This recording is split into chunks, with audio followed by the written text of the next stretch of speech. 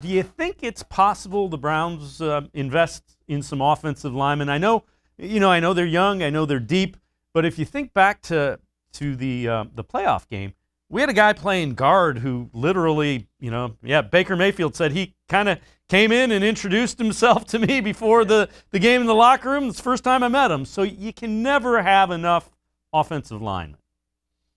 I think they'll look at a guy late for sure. I think they like Drew Forbes. People have sort of forgot about Drew Forbes, who was, uh, I think, I think Drew was their sixth round pick in 2019. Sat out last year on the COVID list. Made that choice for himself.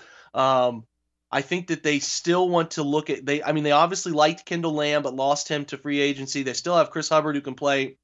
Chris showed he can play all over the place. Uh, they definitely have. Uh, you know, Nick Harris is still a, a, young player that they they think can be a future center for them. But I do think they would be wise as listen, Joel Bitonio, who I think wants to probably retire at Cleveland Brown at this juncture. I, I, I hope that works out, but you never know.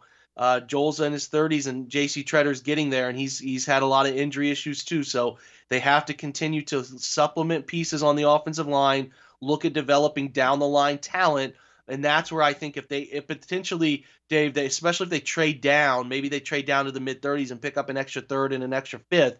That's where you could see them target an offensive lineman somewhere. So if they took a back half of the draft offensive lineman, I would not be surprised in the slightest bit because I do think it's wise to continue to invest mid to late round picks in offensive linemen that you can develop, and especially with Bill Callahan, who is a, a you just don't know how long Bill will be your offensive line coach, and while you can get him to get some of these young players in and develop them and give them some of the things he knows while he's here, that's great, and that's something you want. So I, I, I at this point I'm expecting them to take some sort of offensive lineman later in the draft.